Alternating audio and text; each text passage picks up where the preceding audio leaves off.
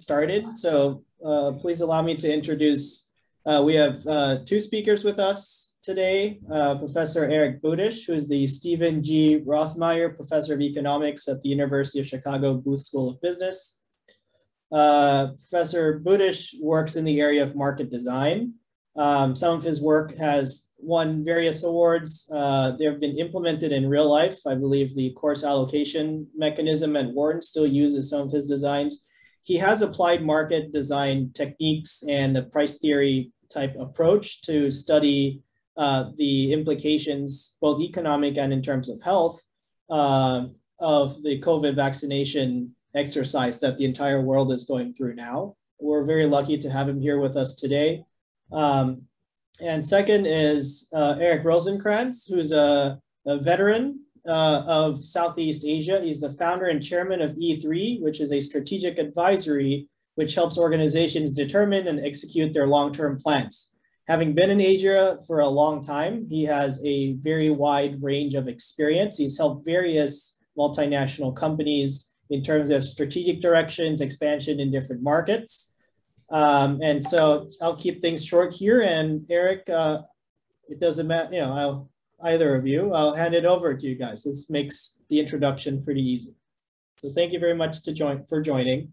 Uh, Great. Well, thanks very much. It's it, it's good to be with you all, and I'm going to talk. Um, I think, or Eric, Eric, or do you want to introduce the format? But I'm going to talk for about yeah, 15 yeah, to 20 sure. minutes. So. And, so since we have two Erics here, I'm going to be officially known as Eric, and the other Eric is going to be officially known as Professor Eric.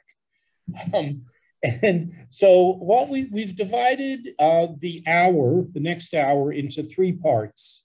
Uh, in the first part, which will be approximately 20 minutes, uh, Professor Eric is going to present his research and his findings. Uh, that'll be a nice little PowerPoint presentation. Uh, after that, uh, Professor Eric and I will engage in a kind of a dialogue in which I've prepared some questions and we'll do some give and takes of back and forth.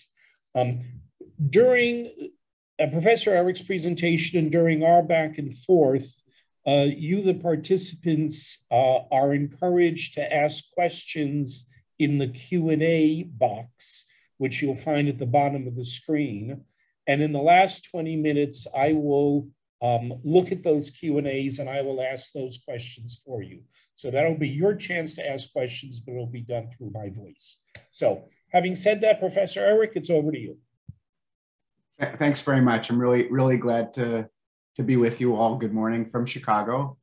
Uh, and I'm going to present research um, that's joined with a large number of, uh, of colleagues that I'll, I'll describe in, in a, in a few slides to, to start, as, as we know, the, the COVID 19 pandemic has been um, expensive in so many different dimensions economically expensive, expensive in terms of lives lost, expensive in terms of the harm to education and human capital development, also just socially expensive. It's, it's, it's nice to be with you all on Zoom, but it's, uh, it's been socially expensive to, to all of us to, to live so much of our life on Zoom over the uh, over the last time, and, and it, has been de- detrimental to human relationships and human happiness. A way of thinking about this harm economically, and the way, way the way we think of this harm economically in our, in our modeling exercise, is to just use a dollar figure for harm per month. We're going to think of a lot of our analysis is going to be on a per month basis, is kind of speed of value of this of speed of ending the pandemic. And on a monthly basis, COVID 19 has been killing hundreds of thousands of people worldwide. I think in the recent flow is about 200,000 people per month. It's been, it's been higher or lower than that, depending on uh, the course of the pandemic. And the World Bank and the IMF have estimated the economic harm of the pandemic at on the order of $500 billion per month, about $10 trillion over the course of a two-year, uh, two-year pandemic. Um, and these estimates are likely, the, the $500 billion a month is likely conservative because it's not taking into account all these other dimensions of harm I just alluded to.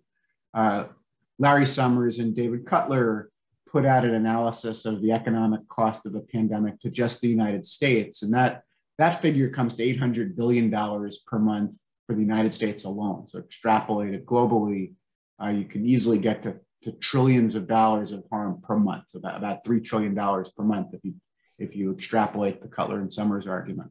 Uh, and the, the, the given this harm and this harm that accumulates month by month, the approach our team has taken has been to, to quantify and think about ways to accelerate the end of the pandemic through global vaccination.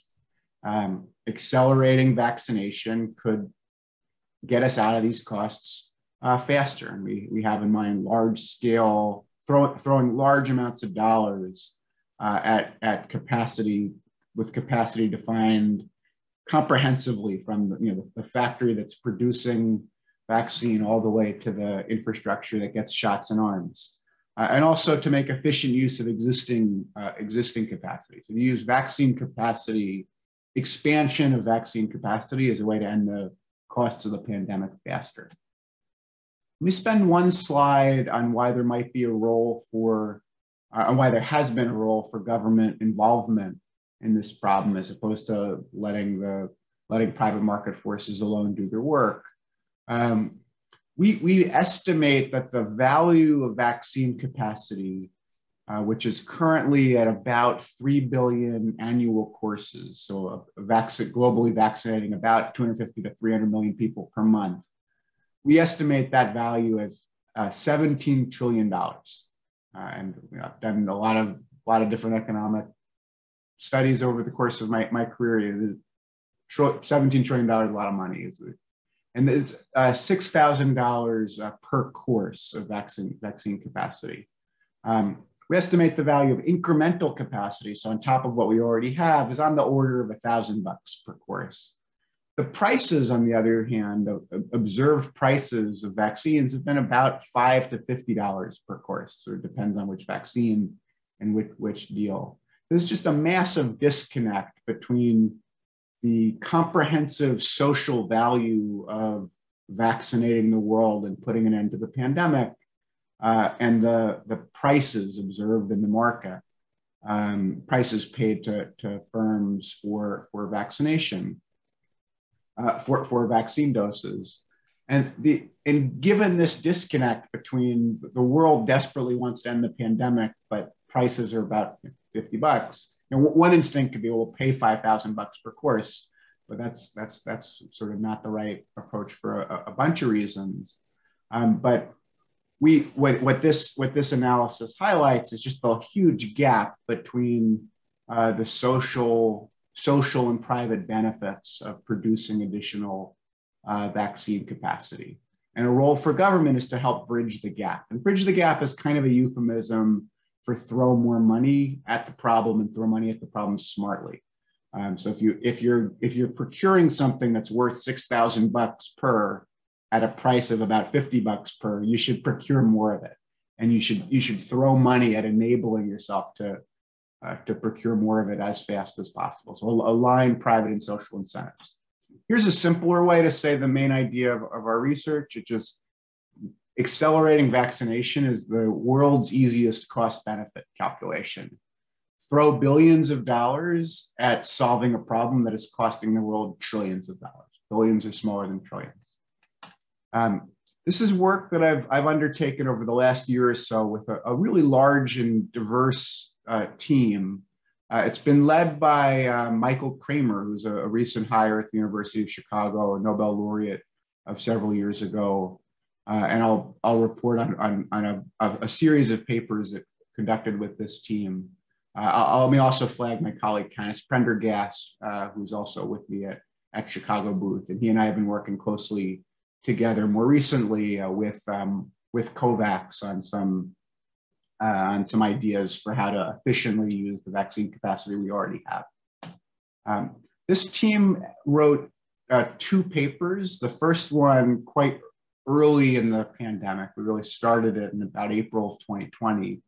Uh, and the second of which was published um, in March of this year in Science. Um, and that's the title of today's talk Market Design to Accelerate COVID 19 Vaccine Supply. And, and I'll, I'll, talk about these two papers kind of as a holistic, uh, as a holistic whole uh, over the course of the next, uh, next 10 minutes or so. but roughly speaking, the first paper took the took an ex ante perspective from a perspective of April 2020, when there was massive uncertainty about which vaccines would work, um, wh whether any vaccines would work, um, how much money should governments throw at building out vaccine capacity, uh, quote, at risk. So building the capacity before you know uh, which vaccines are going to turn out uh, turn out to be effective. And then the second paper took a perspective of early 2021 and tried to do two things. One is it tried to quantify the value of the vaccine capacity then in place, which we estimated about 3 billion courses per year. And that's turned out to be a pretty good estimate for 2021.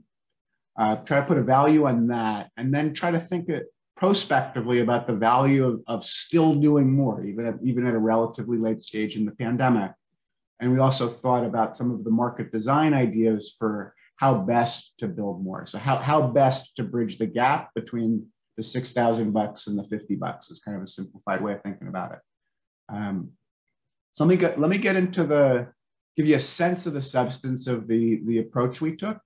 Uh, and then uh, uh, and then and then uh, talk about uh, some of what we what we think we should uh, should do now. Um, so this this team is engaged with policy along a number of, of fronts. Again, from kind of early, relatively early in the pandemic in April of 2020 up through present. This slide kind of ends with uh, uh, ends with our work in March of 2021, but it, it's it's been on ongoing um, with some successes, some frustrations. It's it's been a, a long 18 months for everybody. Um, so the, the ex ante problem we thought of as a, as a portfolio problem. You're a, a country um, facing uncertainty about what vaccines are going to work, um, wh whether any vaccines are going to work and which ones. Um, and in the question is whether to invest at risk. So before you know which ones are going to turn out to work, uh, to invest at risk in building out a capacity for uh, for that vaccine. Um, the so it's a portfolio problem. We had a lot of risky bets. Um, we modeled the probability of success based on uh, conversations with a variety of, uh, of, of, medical experts and tried to put just some sim- simple structure uh, on the on the probabilities of different different outcomes of success. And there's a lot, oh, was a lot of hazy uncertainty in the spring of 2020, as, as we all remember. Um, this is an example of, of what a just to give you a, a, sense of how the plumbing of the model works and a, lar- a large number of candidate vaccines uh, at different phases of development and with different different overall approaches to vaccinations. That's called a, a platform and a subcategory. Um, and out of this, um, and the, the, the, more candidates you fund, um, the more likely some are going to be successful. Think of this as like a, a variation on, the, on a venture capital investing problem. Uh, but it's a, a, different, the difference is you, you really want to you, you really want to get enough successes to be able to vaccinate your, your population. So there's, actually this great metaphor by Larry Summers uh, where he said, imagine uh, imagine your family's life depends on getting a pizza in the next one hour. You wouldn't just call one pizza place and, and make a delivery. You'd call 20 pizza places and order 20 different pizzas from 20 different places um, to make sure that one pizza, at least one pizza, gets to you in an hour. And by the way, if 18 pizzas get to you in an hour and you've wasted 200 bucks, so if your family's life depends on it, that's that's money really well spent. And that's the spirit of spend billions, but to save trillions. Um, the, the way we modeled the benefits of vaccination uh, was as a, as a flow where on the this is again just to give you a, a, scent, a flavor for how our modeling exercise worked. On the horizontal axis is the fraction of the population vaccinated, and on the vertical axis is the, the benefits accrued so far. we assume that the early doses have higher marginal benefit than later doses because we're early doses can target uh, higher risk, um, uh, higher risk or higher willingness to pay uh, individuals. Um, with, with higher, higher marginal benefits. But there's benefits throughout until you, until you reach herd immunity, which unfortunately we haven't quite done yet. Um, here's a, a figure that helps us think through the economic benefits of what we call acceleration. So let's say that without any investment at risk, a vaccine uh, will be approved, would, would be um, would be ready at time t ready and ready in, in, in production at time t zero, and by spending money building capacity uh, at risk, that could accelerate the initial availability of that vaccine by by t capital T months. So think of this as you're spending money in April of 2020, so that if in November 2021 um, the Pfizer vaccine is approved, uh, there's billions of courses of annual capacity ready to go starting in November of 2021. That's kind of the thought experiment. Um, and that, that saves a lot of time. It can save on about on the order of six months to, to more. Um, so the benefits start accruing earlier, and, and the quantity of the benefits that start accruing depends on how much capacity you build at risk.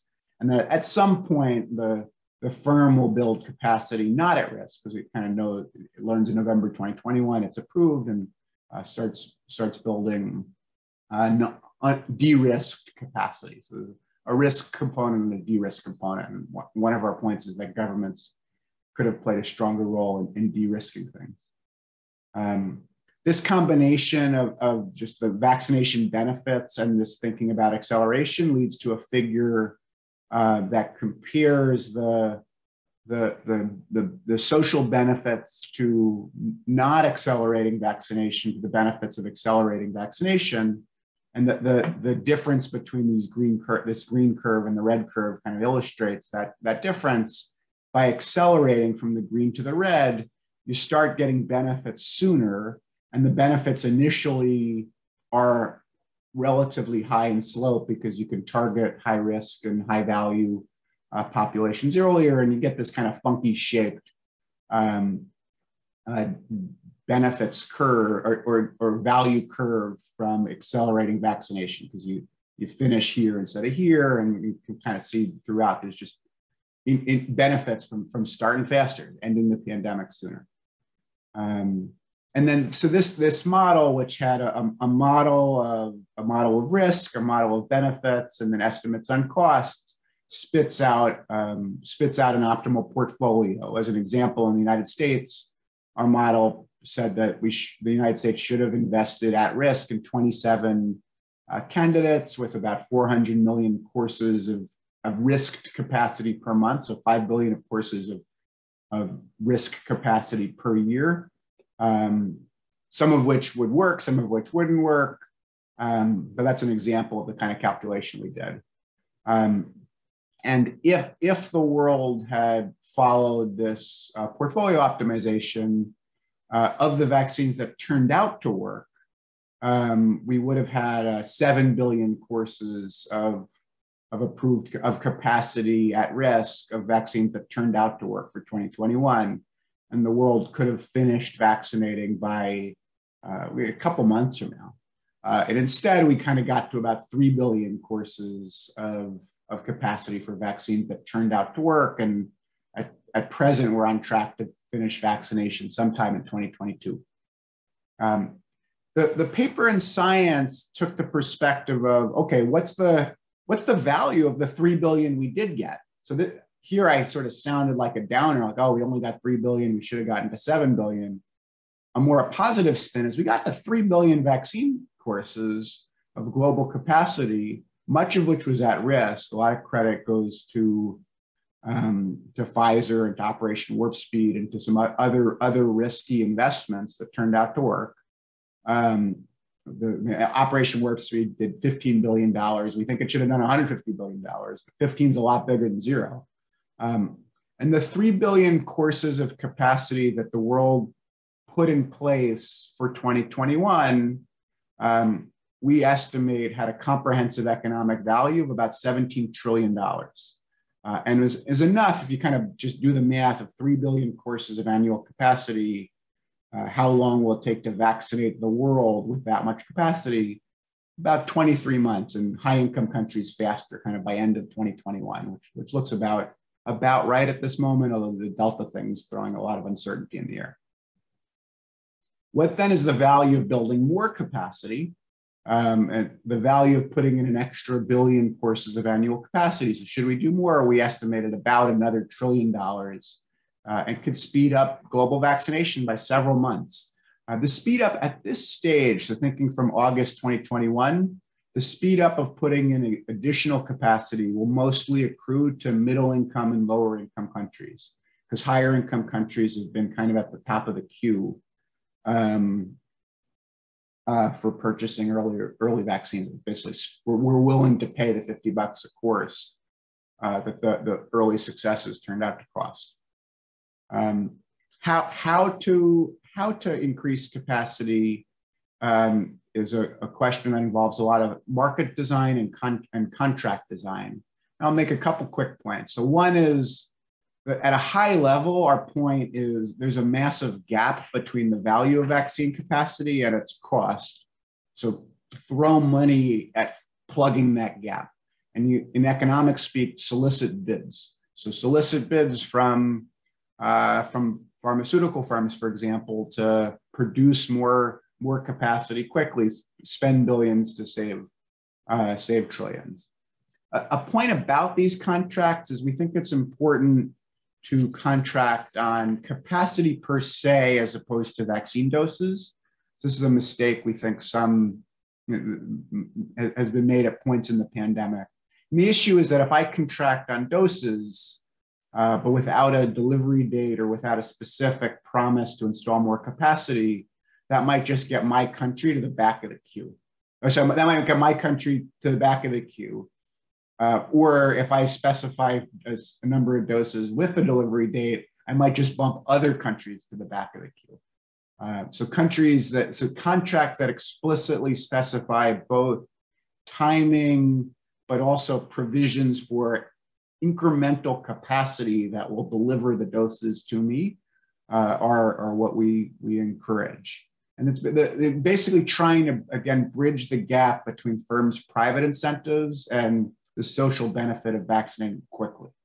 Um, uh, and then we, we also advocate uh, just investing in, in supply chains, uh, everything from the fact that the inputs into the vaccine production process to, to the, the supply chains for getting shots, uh, shots into arms. But at a, at a super high level, just throw money at solving the problem fast. I was I was lamenting to a friend a friend last night uh, about we were talking about the pace of vaccination in Chicago. When when Uber and Lyft were trying to get off the ground, there were more people on on sidewalks handing out coupons to try Uber and Lyft than there currently is uh, public investment in trying to get on the unvaccinated to get vaccinated. Uh, just throw money at the problem and do it, do it smartly, but with, with cash. Um, stretching capacity is another, uh, another avenue we explored in the science paper. And there are a lot of potential ideas to, for how to take the capacity we currently have in place and make, make more efficient use of it, given, given the value of speed. So first doses first, tinkering with, with um, uh, with dosage, um, utilizing even the lower efficacy vaccines fully. So one of the calculations we did is suppose you have access to AstraZeneca now or Pfizer, Moderna several months from now.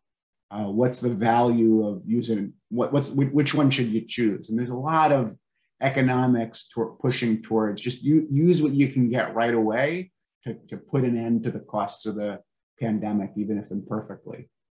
Um, and, the, the meta point is just there's a huge value to information uh, that could come from smart experiments for, that that teaches us how to how to make the most of, of what we currently have.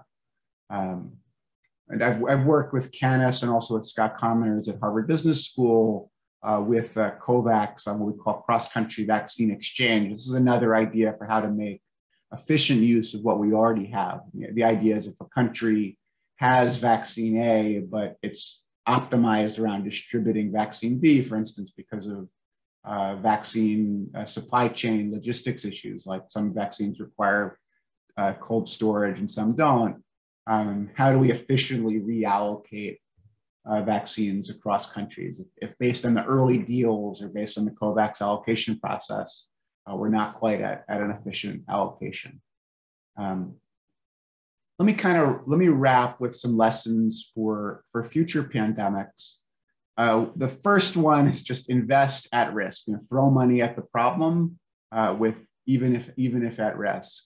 Uh, and and related is that investment in capacity translates to speed of ending the pandemic. Um, the second point is, again, kind of a high level point, is that private incentives for speed are just not aligned with social incentives, and especially at fixed prices. So let me, let me put this in a very simplified way. Suppose there's a pharma firm that sells a billion courses at 40 bucks a course, uh, and it's a fixed price. It earns the same $40 billion if those billion courses are sold in 12 months as if they're sold in one month. But selling it, producing a billion courses in one month as opposed to 12 months requires 12 times the fixed costs. So you're just not going to get speed from a private firm if you're con- contracting at a fixed cost, especially a relatively low fixed cost relative to the massive social value of, of ending the pandemic. And then last, I think with the benefit of hindsight, we needed a new play uh, in the epidemiology playbook. Um, so first to vaccinate as fast as possible, throwing, throwing massive dollars behind that, often at risk. And then in the interim, what I've called in separate work, uh, maximize utility subject to R less than one, subject to preventing uh, exponential spread uh, of the virus. And the, the kind of price theory of this of this new play in the Epi, Epi playbook, I'll, I'll make this point, this will be the, the last remark I'll make, um, is so you, have all by now probably come across the, the term R naught, so the reproductive rate of a virus. Um, this, this, fi this figure plots um, R naught against total infections and total uh, total deaths. It focuses on the United States, a population of 300 million, but it extrapolates in kind of the obvious way. Um, and there's a discontinuity, as we all know by now, at around one. So if the if the virus grows exponentially, the number this is a, the cumulative number of infections and deaths over a 12 month period. Um, the um, the number of, of infections grows quite rapidly if, if there's exponential growth, kind of topping out with everybody getting it if, if R is a two, two or more or so. Um, so if you can get R to less than one, you've basically done all of the work, all, of the work of, of preventing infection and, and death uh, without uh, necessarily fully eradicating the virus before you get, get to a vaccine.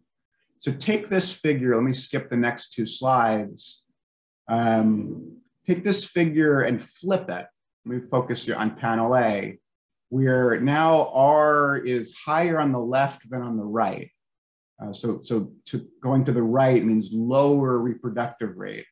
And vertically is the benefits of reducing uh, of reducing the the, the spread of um, uh, the, the reproductive rate of the virus. You get a curve that looks like this, where again there's kind of a kink at one. So the benefits of reducing the spread of the virus are steeply increasing and then kind of flatten out once you hit R less than one. Whereas the costs of mitigation are going to be a more traditional economic uh, convex cost curve, where the more you mitigate, the more expensive it is. And this points you to you should get all the way to R less than one and then just kind of stop. Um, and then a way to think about masks and rapid testing, um, social distance is these are ways to reduce the cost of mitigation without societal uh, societal lockdown. So to make the R less than one play um, more economically appealing. There are other plays in the playbook. So for a virus that costs more to mitigate than is the benefit of reducing its spread, you should just ignore it. Um, there are some uh, some pandemic threats where the optimal is to partially mitigate, so to mitigate somewhat, but then you kind of run out of run out of tricks. So the HIV pandemic is probably an example of this sort, where you could um, educate as much as possible about condoms and needle sharing and how the virus spreads. But at some basic level, no, public official seriously considered trying to ban sexual intercourse. So, so you kind of run out run out of tricks for how to how, how to mitigate the spread of the virus. Um, to get suppression to R much less than one, so which I would think of as like a full draconian lockdown, it's actually pretty hard. Um, but eradication is a great play if, if available, and, and countries that manage to eradicate, um, uh, fully eradicate the virus, and mean, they, they did a better job than the United States did, for example. Uh, but let, let me stop here. I've talked, I, have been talking a while, and Eric R. and, and Eric B. are going to now have a, uh, a conversation. So thank you very much for, um, for your time and interest. Great. Thank you, Professor Eric. That was terrific. I learned a lot. I'm not sure I understood a lot of the math, but uh, uh, I think I got the conclusions. Uh, boy, do I have a lot of questions. Um, and I want to get into issues regarding developed versus developing markets. I want to get into supply versus demand. Uh, but let me start by asking about your model. And you, you did kind of address this question at the end, but I want you to mm-hmm. go into a little bit more detail on it. Um, I'm curious about how your model works with the different effectiveness rates of the different vaccines, okay, and the one shot versus two shot issue. So, certainly here in Asia, we have a lot of countries that are only going to be giving uh, Sinovac or Sinopharm, which call it 50% effectiveness. Uh, most developed countries, US, are giving Pfizer, Moderna at 95%. So, how did how, uh, what impact does the different effectiveness of the viruses have on your model? Yeah, very very important question, and the um, the so the the way the let me give you kind of the plumbing answer, and then and then the practical answer. The plumbing answer is the, the way the model works is that the sooner you start vaccinating, um, the sooner people can get back to normal levels of economic and, and social activity. Um, the faster you vaccinate, the faster, the more, the more people can quick can get back to um, typical levels of economic and social activity. A 95% effective vaccine accomplishes that per, per dose accomplishes that more effectively than a 70% effective vaccine. But you'd rather have two, two people worth of 70% efficacy than one person of 95% efficacy. And you'd also rather have 70% efficacy now than 95% efficacy six months from now, because the, the 70%, 70% uh, protection is still quite a lot of protection, especially if you can vaccinate large parts of the population. So it it's sort of like you're, you're buying efficacy at a price and you're buying it at a, at a time. And the, fa- the faster, you, one of the calculations we do is that you're better off having a 70% effective vaccine deployed immediately than a 95% effective vaccine deployed three months from now. And it, it's a little sensitive to parameters, but like speed is so important. Uh, if the if the world had all if the whole world had taken AstraZeneca by I'm not, I'm not sorry I'm not a medical expression I, I, I shouldn't speak so casually but if there were a 70% effective vaccine that the whole world had taken by now um, we'd be in a much better position even even if 70% is less than 95%. All right. Now, so I know a lot of your work was done over the last, let's say, six to 12 months. Um, now, what I'm going to ask about is something that's happening today, mm-hmm. which is we're starting to get some soft data that's generally starting to harden, which is the vaccine is giving up its effectiveness. Mm-hmm. Um, what we're seeing in Israel, which was the earliest vaccinated country, is that vaccinated people are starting to get sick. Um, and there's a lot of talk now about a third shot or a booster shot. Mm-hmm. So, how does your model account for that? What does your model say about booster shots? Um, if your model hasn't addressed that, can you extrapolate?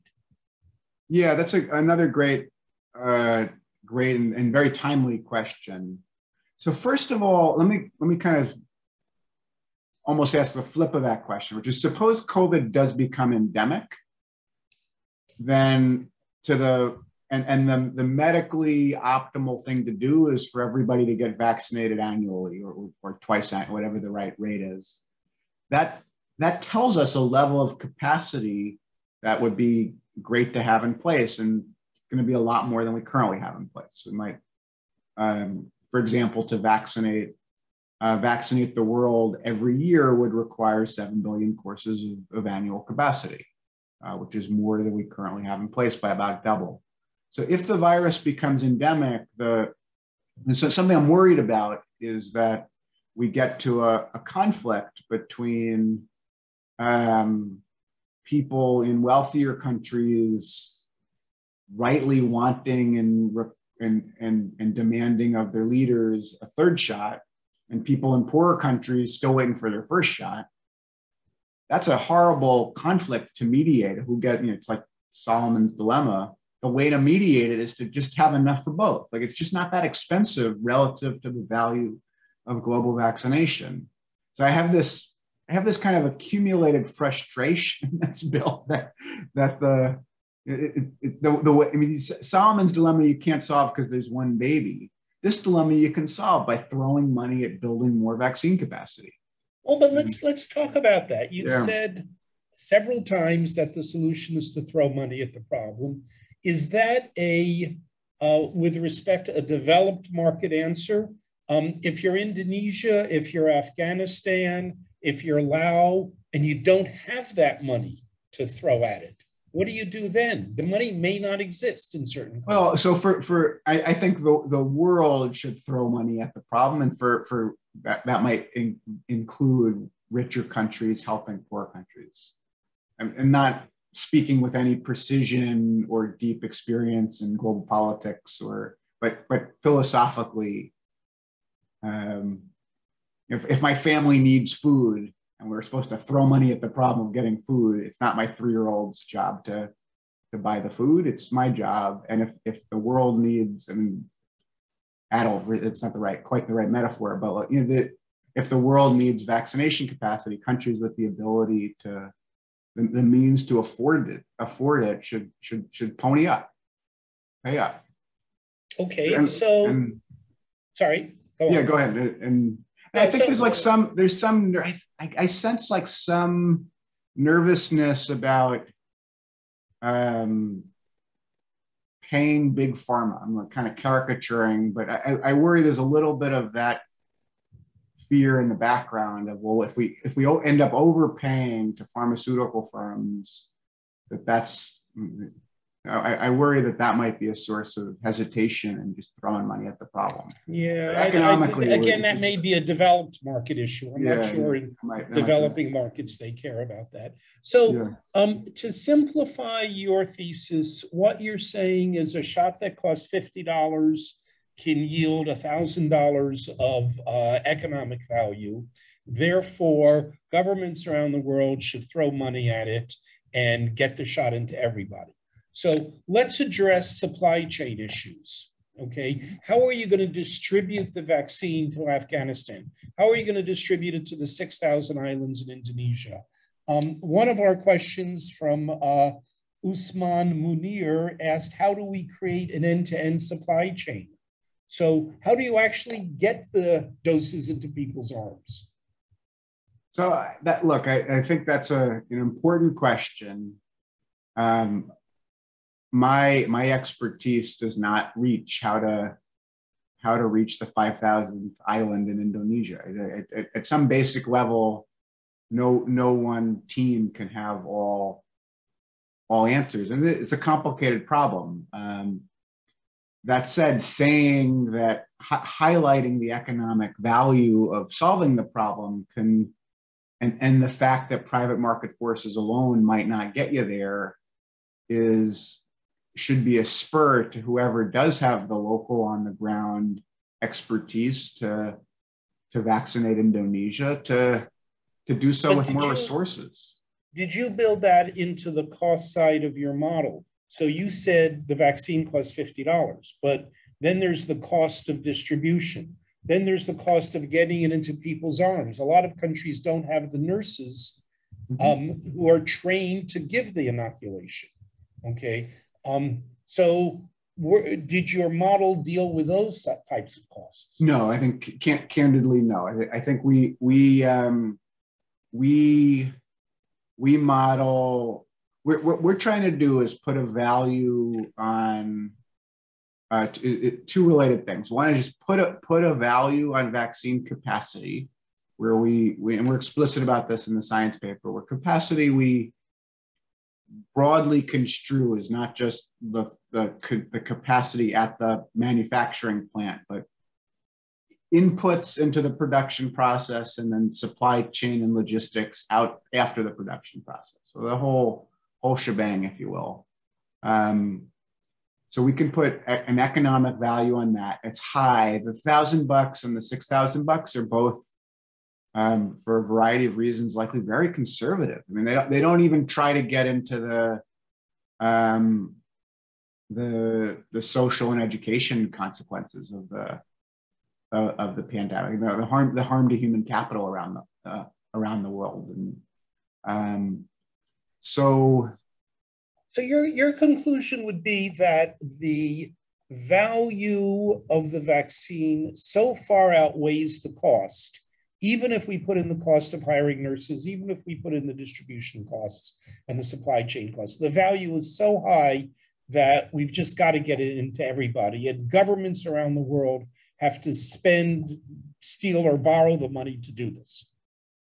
I think at some, I mean, that, that sounds like a caricature on the one hand, but it, I think kind of, yeah. Like I, like I said on the third slide, it's the world's easiest cost benefit calculation spend billions to save trillions you know, from yeah, the perspective yeah. of August 2021 thing, I don't want to because we, we, we, we have accomplished quite a lot, right? We're, we're on pace to vaccinate three to four billion people globally this year. So the and the and and can't and in the model and in reality, the earlier vaccinations are, are higher economic value than than later vaccinations because they're getting to higher risk, higher value people in richer countries. So $6,000 per course is a global average, and that's averaging high income countries and, and lower income countries. So the, the you know, I, I, I mean, I, somewhat ironically, the, at, at this stage of the pandemic, a lot of the a lot of the value of building out uh, building out capacity will a lot of the economic value of building out capacity will accrue to relatively poor countries. You know, lower income and middle income countries. Um, okay, let's let's shift away from supply side to demand side for a second. Um, we're seeing uh, percentage vaccinated top out in developed countries at let's say 75% to pick a number. Right. Uh, and we're well aware that in the US, there's a large percentage of people who just refuse to get vaccinated. But it's not a US problem. In Australia, where basically they only have AstraZeneca, Australians don't want to take AstraZeneca because they're afraid of blood clots. So vaccination in Australia is less than what, 5%, something like that. Uh, here in Singapore, we've got a significant number of people who just say, I don't want to take it. So how do you handle that issue that there are just people who are just not going to take the vaccine? And what does that do to your calculations in your model? So that, that's an, there's a, a, another great and hard question. Uh, let me say let me say a couple different make a couple different points on that one. That's a hard one, and we're, we're it's it's very visceral at the moment, where where I sit in the United States. Um, so first of all, vaccine hesitancy, I, at some basic level, don't have expertise on. So let me let me punt on the like, what's the source of vaccine hesitancy? Um, what are let, let me next make kind of an epidemiology point, which is in the in the SIR style models, susceptible, infected, recovered that I alluded to on these last few slides with the Epi playbook.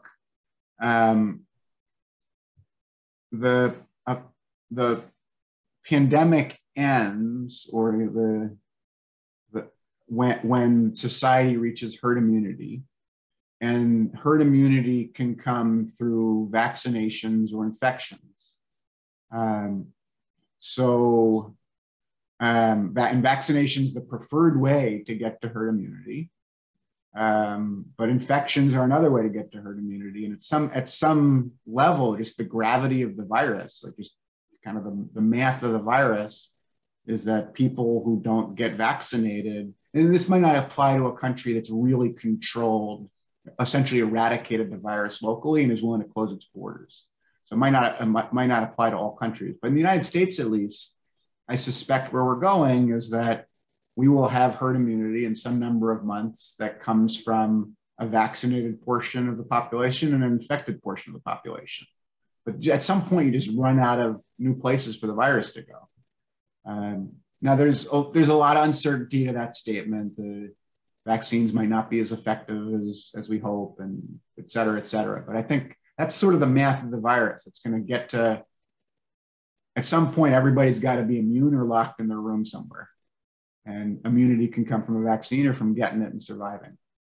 All right, let's uh, let's go to some of the questions being asked. So uh, Jared Mueller, who's an administrator at the Mayo Clinic, says he's been following your work for several years and, and congratulates you and appreciates your work.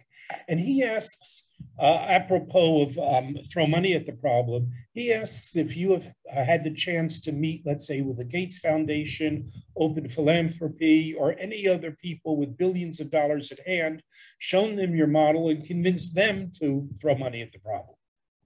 It's a great, it's a great question. Um, so, so that question would be best addressed to um, my collaborator and, and this distinguished, distinguished collaborator, Michael Kremer, and he, he's had the most of those kinds of conversations.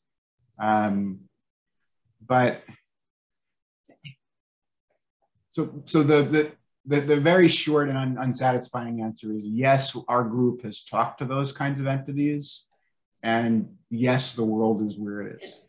And you can kind of, the Operation Warp Speed in the United States is sort of a good good sort of example of, of, of my sense of things, which is on the one hand, the US invested $15 billion at risk in, um, in vaccine capacity. And our, our team had, you know, had spoken with the um, uh, with, with Operation Warp Speed, with the folks running Operation Warp Speed. And on the other hand, it should have spent $150 billion if you believe our model. And it's sort of, I, you know, the Gates Foundation, I think, is one of the has, has supported some of the entities behind COVAX, but I, I don't have a fully satisfying answer to your to that great question. And, okay, and thanks so, also for your interest in the work. So Edwin from Indonesia is asking, he asked a question and then he asked a follow-up question. I think almost the follow-up question was related to something I said. So his first mm-hmm. question was your thousand dollar benefit for inoculation. Um, is that the same in a developed country like the US versus a developing country, for example, Indonesia? Is it the same value? Uh, and then I was making the point that some countries don't have the money um, to distribute it. And Edwin then followed up by saying, why doesn't a country like Indonesia have the money? Um, why can't a country like that find the money? Which gets back, I guess, to the Gates question. So, so I guess two questions from Indonesia. Uh, one, um, is your model $1,000 the same for developed versus developing countries? And two, how do developing countries find the money? Great. So both, both so Edward, Edward and Eric are thank you, thank you for those questions. So the the, the, the plumbing of the model does take into account um, GDP differences across countries. We break the world into high income, upper middle income, lower middle income, and lower income. Um, and the thousand bucks and the six thousand bucks are are weighted averages over countries. So it'll be tend to be higher for richer countries and tend to be lower for poorer countries. Um, yeah, we did a, a separate paper that I, I wasn't one of the co-authors on, but Michael Kremer wrote with with some of the other members of the uh, of the AHT team that went through the thought experiment for a, a, poor country and argued that even even for a quite poor country, self-financing vaccination is economically uh, is economically justified. Now, there's a question of who pays for it, and there might be the kind of battle of wills. Well, maybe I can get someone else to pay for it. Now, my first best is for someone else to pay for it right away. Second best is for me to pay for it right away. But that you know, bargaining can sometimes lead to lead to delay, as we all know. So, but that, that those are the two thoughts I have on. So my, my, my kind of instinct is is for for rich and poor, vaccination is economically a, a, a, an easy win for benefit for cost benefit analysis. Who pays for it? It's harder, and, we, and can lead now, to kind of global bargaining issues. Now, William, um, I haven't gotten his last name, so just William uh, has asked an interesting question, um, something I'm struggling, a lot of people are struggling with.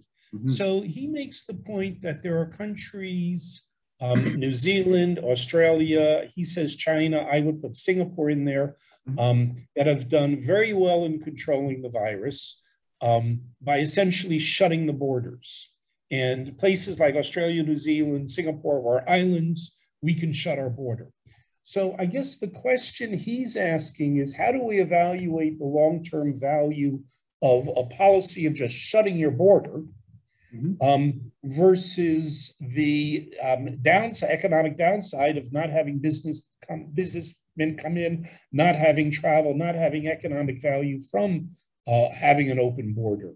So how, how do you play with those variables, shutting the yeah, border versus opening the border? Yeah, that's an that's an excellent question. So thinking back to the epi playbook slide I, I posted at the very end, um, the, the, the, the two good plays in the playbook for the, for the period pre, pre-global herd immunity, so pre-global either vaccination or infection, the two best plays were um, zero COVID. So the, some countries were able to execute that by um, co competent contact tracing uh, and testing and some some you know, border control quar quarantines on the way in and out of the country, you know that kind of thing. Uh, and that that's what I called fixed cost of eradication. You pay pay a large fixed cost of setting up the test and trace apparatus and setting up the quarantines on the new airports, but but then you can have a society that runs somewhat normally while waiting for global herd immunity, while waiting for the vaccine. And excuse me, and then the other good play in the playbook was the maximize utility subject to R less than one play. Just some combination of what we're not going to eradicate, but, but with with rat with uh, rapid testing and with some social distance policies and uh, banning certain kinds of events like that, that could be massive super spreaders um, keeping the virus contained until vaccination that way. At some point, unless Australia's plan or unless the zero COVID countries' plan is to close their borders indefinitely, at some point, you got to get to herd immunity. And the ways to get there are with infection or vaccination. So I, I don't really have like a, a strong opinion for what to do in August 2021. But at some point over the next call it 12 months, 24 months, six months, and that at some point that that that strategy you, you want to also complement that strategy with vaccination. And a country that's um, government is effective enough or strong-willed enough or whatever phrase you want to use to close its borders and get to zero COVID might also be strong and effective enough to get to, to, to mandate vaccination. The U.S. is not that kind of country, just for better or worse. It's just not who we are. So we have a question from an, yeah, we, we have a question from an anonymous person. So I'll just say Mr. and Mrs. Anonymous here. Um, and you, earlier in your presentation, I think you talked about um, taking 12 months to distribute or taking one month to distribute, right? 12 times right. as much. Mm -hmm. And I don't know if Mr. Anonymous was referring to that, but he's asking the question about the expiration um, cycle of some of these mm-hmm. vaccines. So they expire after a certain amount of time.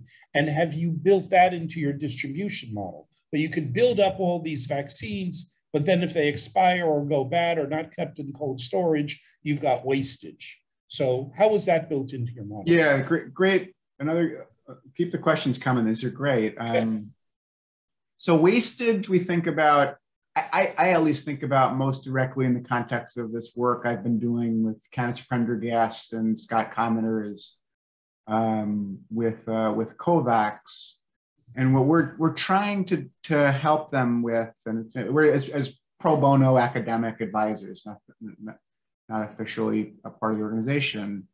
But what, what we're trying to help them with is thinking through ways to facilitate exchange. Um, it could be across vaccines or it could be across time to prevent wastage.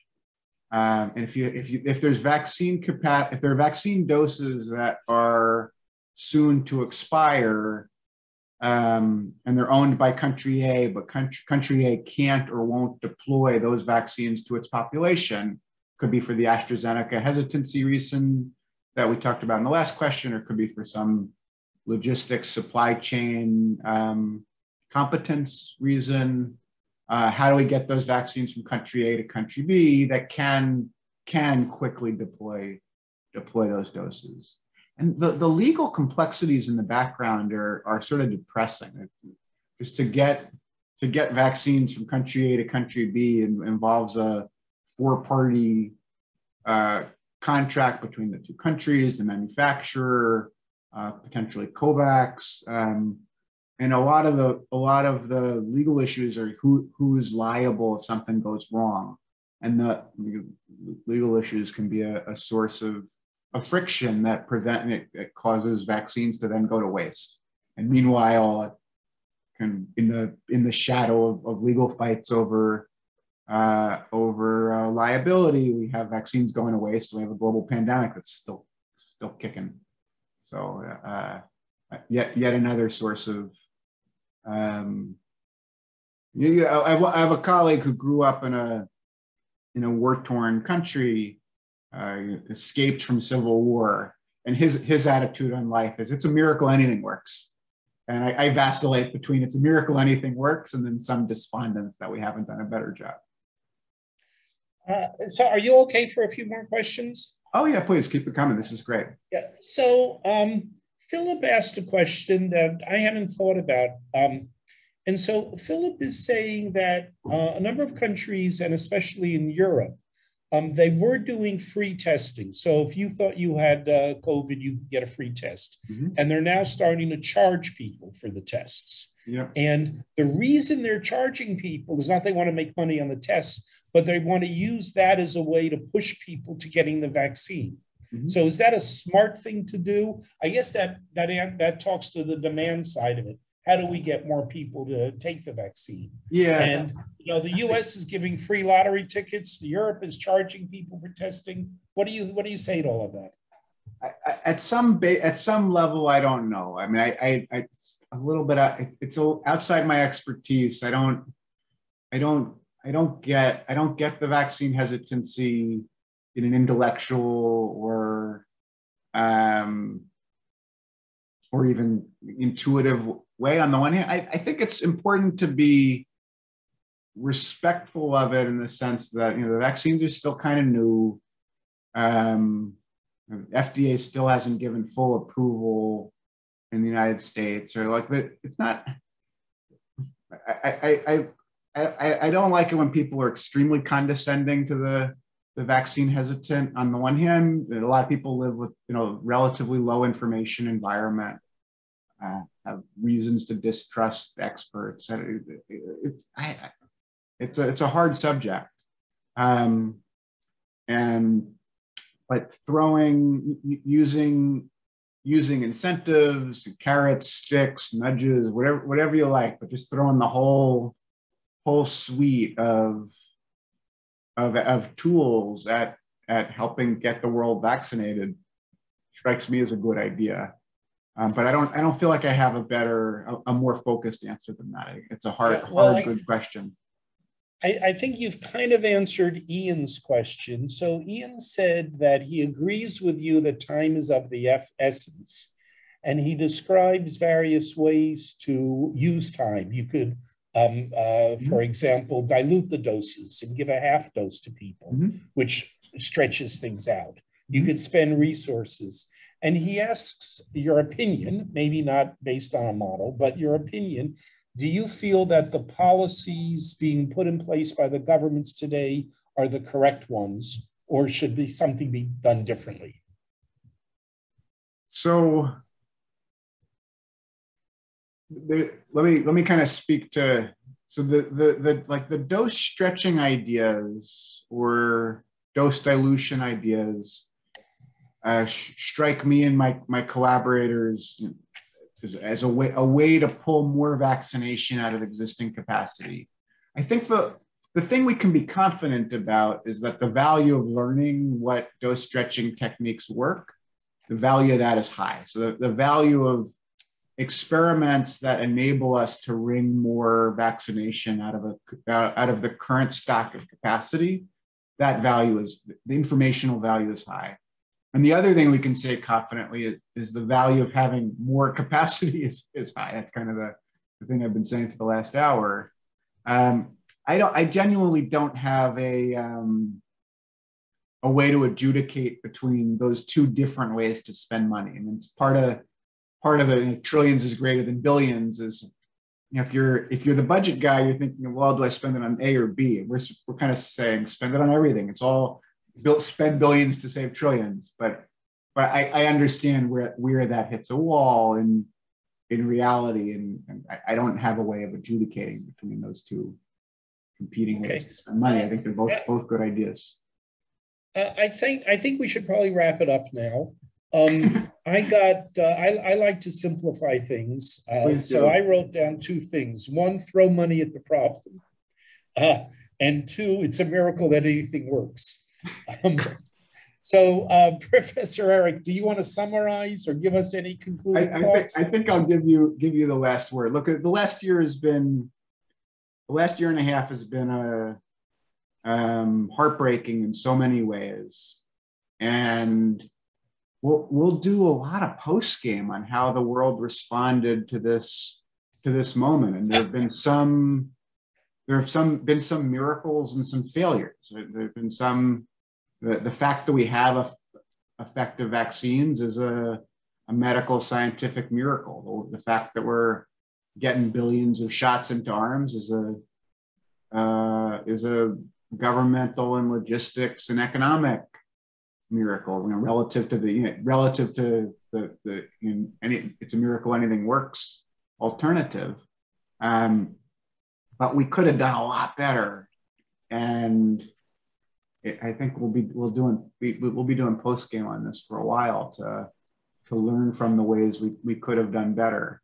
Um, and I think the costs are you know that I, I I have small children in the next in the next room, and I think about the costs they've faced over the last uh, last year and a half, and, and we're we're the luck we're some of the lucky ones. You know, they, um, but the, the I, th- I think the costs of the pandemic have been just so so vast. You know, health health costs, the educational costs, and we we did a we did a good job, but we should have done a great job. And I think we'll be we'll be studying how to do better next time. And, uh, try to try to focus on the positive, not the negative.